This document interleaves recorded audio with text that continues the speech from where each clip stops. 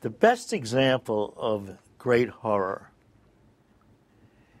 and it's all about story now, and that's what it's all about. It's all about story. And I will take this with me for the rest of my life. I have never come across a better story than The Night Stalker.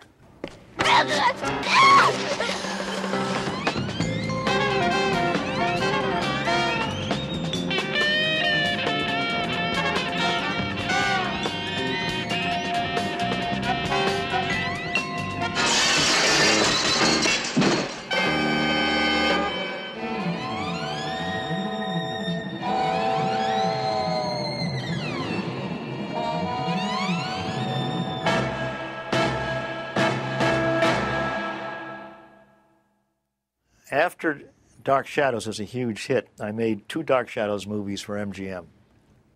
And I figured, well, that's it for me, the movie business. Yeah. Television, I've done television already. I know everything there is to know about directing now and uh, all of that. Uh, and I got a phone call from Barry Diller one day. He said to me, We've got this terrific film. It's a horror film I said, Oh, hold on, Barry. He said, No, no, no. We want you to direct this. You'll love this picture. I said, Well, what's it called? Who wrote it? He said, Richard Matheson. Richard Matheson. Well, Richard Matheson was my favorite writer. And I mean, I thought Matheson was a genius. So I said to him, Look, I'll read it, okay, just because it's Matheson. But I'm not going to direct it. He said, then just produce it. Bring in your own director. Anything you want. Just want you involved with the picture. I said, Well, I won't promise, but send it to me. So he sent me the script, and I loved it. I mean, I just absolutely loved it. So I called Barry back and I said, Okay, I'll do it. You know? Well, it turned out there was suddenly a problem with Matheson because a while back I had read uh, it was um, his manuscript on Hell House. Somebody had gotten a hold of it for me, and this is when MGM was saying to me, "You make any movie you want," and I found this manuscript from Matheson. So I thought, you know, great haunted house story. I said, "This will be terrific. We'll do this, right?" So I said, "Okay." Uh, I want to make this, this thing that by Matheson. I'll see if it's available and we'll, we'll make an offer to him. So we contacted his agent or whoever it was, right? and we offered him like $10,000. So when Dick Matheson heard that, that I was the guy who was going to come in to do the Night Stalker, he wasn't thrilled. So I had to, so I have to fly to California to meet. I've got notes that I make on the script. I have to fly to California and meet with Matheson. Uh, So I come in and Matheson is there. We'd never seen each other face to face. I mean, he looks like he doesn't even want to talk to me. He doesn't even want to look at me. so, you know, the one thing writers love is to be told they're great. So I figured, you know, I'll, I'll, I'll melt the guy down. Then I, I say to him, Dick, I got to tell you, you know, you're my favorite writer. You're absolutely extraordinary. You're, and I give him this whole thing. Not an eye blink. I mean, it didn't even make a dent in the guy. they said, let's start talking about the script. So I had notes, and I guess the notes that I gave to Dick, he started to see that perhaps this guy knew what he was talking about. So he started to soften up a little bit. Uh, Dick's memory of the meeting was it's one of the funniest lines. He said, uh, It's very fortunate that I didn't rip his throat out. Well, after The Night Stalker, uh, Dick and I became very close friends, and we decided to have to do a lot of things together. We did the sequel to The Night Stalker, The Night Strangler, uh, where we kind of sent The Night Stalker up. I mean, we got a little crazier with that in terms of of laughs than uh, than we did on The Night Stalker.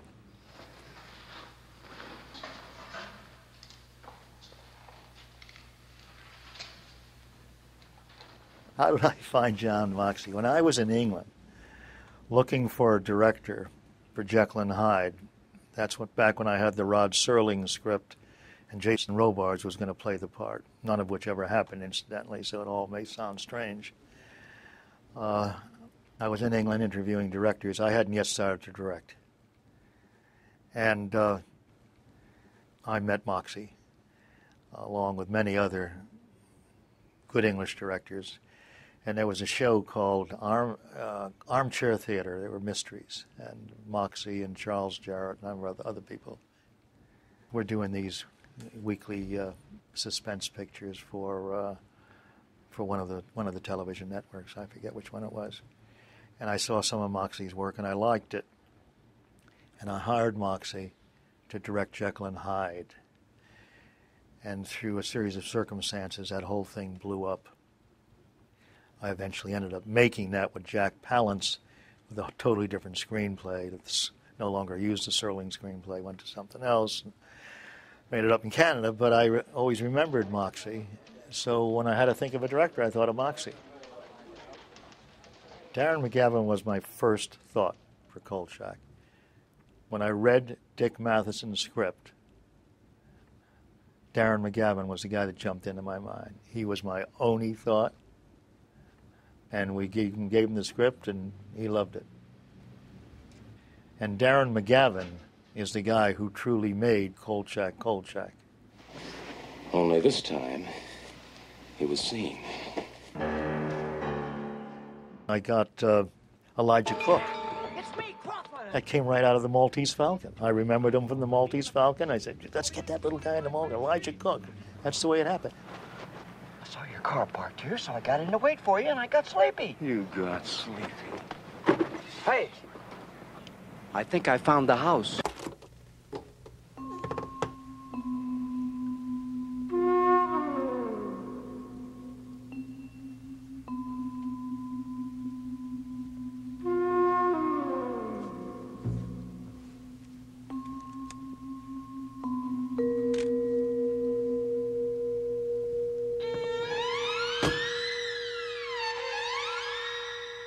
Bob Cobert said to me, I think I've got the theme. I said, Well, what's the theme? He said, he said, I'll whistle it for you. I said, No. I said, No. He said, I think I got the theme.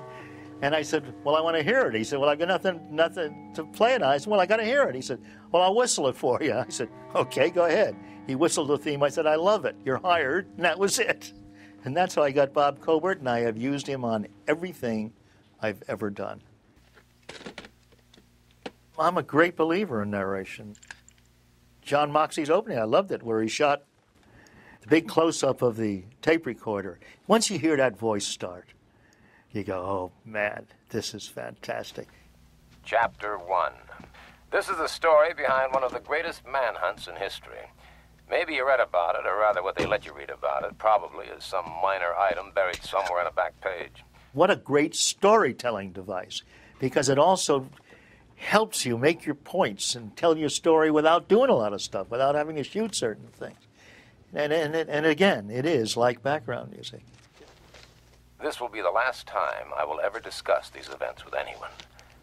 So when you have finished this bizarre account, judge for yourself its believability. When we finished The Night Stalker, nobody knew what we had. It was a little horror movie. Yeah, nobody was getting excited about it. Either was I. I knew it was a terrific movie, but I never assumed what was going to happen was going to happen. And the first inkling that we had something really incredible on our hands was when we screened it. We had an industry screening at Fox, and they had the big theater at Fox. And Barry Diller and I were standing in the back of the theater, and the place was packed, and just filled with people. And the reactions throughout that screening were unbelievable. They were blowing our minds. We couldn't believe the way people were reacting to this picture. Gasping and screaming and laughing. I mean, it just, you know, it was extraordinary. So we knew we had a great movie in our hands. And then, when I got to the ending,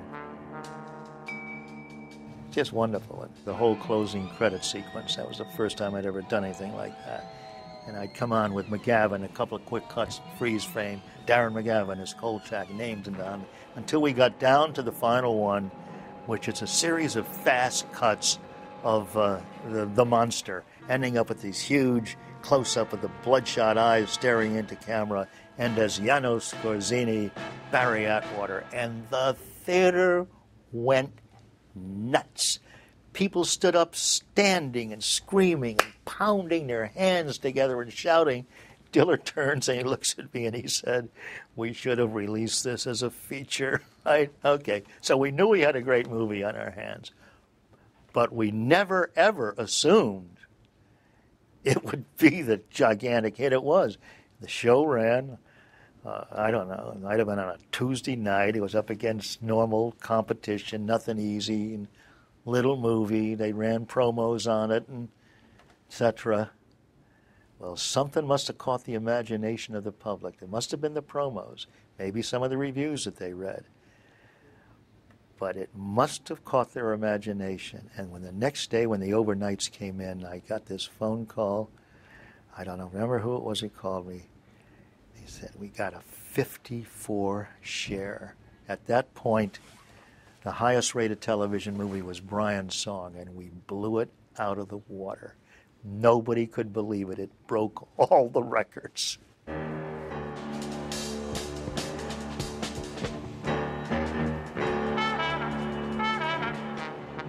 Back in the 70s, when the first television movies started to be made, you know, they were 90 minutes, most of them at the beginning. The Night Stalker was a 90 minute picture. We shot it for $450,000 in 12 days, you know. Give you some idea of what happened in those days. But it was fun because the way you made a television movie in those days and the way you got one sold, totally different from today. Today, it has to be meaningful. It has to be socially significant. It has to be filled with stars. It has to have, you name it, you know.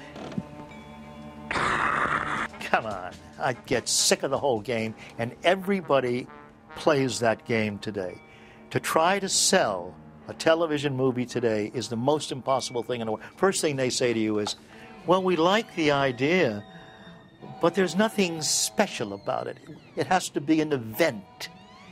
Or, and how, how can we sell this picture? I wouldn't know how to sell this picture to the audience. In those days, the way it worked was I would go in to Michael Eisner and say, Hey, Mike, I got a great idea. I tell him a little story. He say, Hey, that sounds great. Let's do it. There weren't nine people that you met with, and we would do it. I had gotten into the habit where every script that we developed, it got made.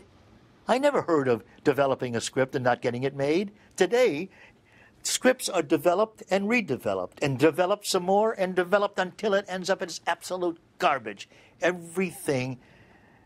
In those days, we had fun. The Great Ice ripoff, the Norliss tapes, any kind of crazy little movie that we came up with. And you got these different stories, these quirky little stories, fun stories. They didn't have to be an event, they just had to be entertaining, fun, good, scary, dramatic, whatever. And we made them fast and we made them cheap, and it was a great period of time. So that's it. The book's finished.